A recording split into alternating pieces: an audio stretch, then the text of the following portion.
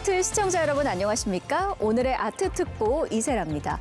연이은 한파로 전국이 꽁꽁 얼어붙은 가운데 혜성처럼 등장한 작가가 개인전을 열어 이 전국의 추위를 녹이고 있다는 소식입니다. 그 현장 속으로 함께 가보시죠. 와, 잘 들린다. 정말. 이야, 이런 아트 분들. 듣고. 오, 팝아트계의 뜨거운 돌풍을 불러일으키고 있는 오늘의 주인공, 그의 작품이 연일 화제인데요. 하지만 일각에서는 그를 둘러싼 의혹도 불거지고 있습니다.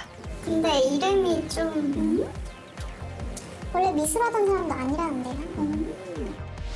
어, 작가 이름이 이상하다. 원래 미술을 했던 사람도 아니라는 거예요?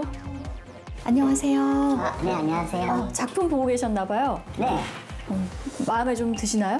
어, 작품 상당히 괜찮은 것 같아요. 어, 상당히 괜찮나요? 어. 어떤 점이 마음에 드세요? 제가 그래서 상당히 좋은 것 같습니다. 아, 마음에 들 수밖에 없죠.